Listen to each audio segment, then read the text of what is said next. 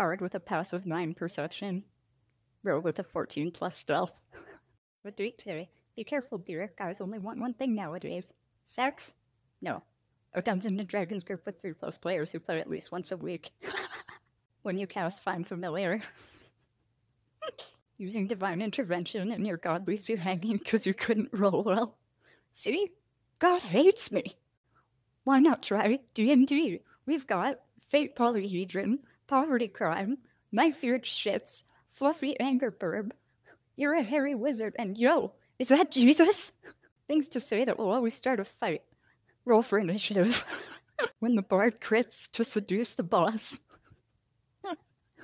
when your players kill a boss that was supposed to get away and become one of the main villains. Bard uses cutting words. Chief, your boy ass ugly.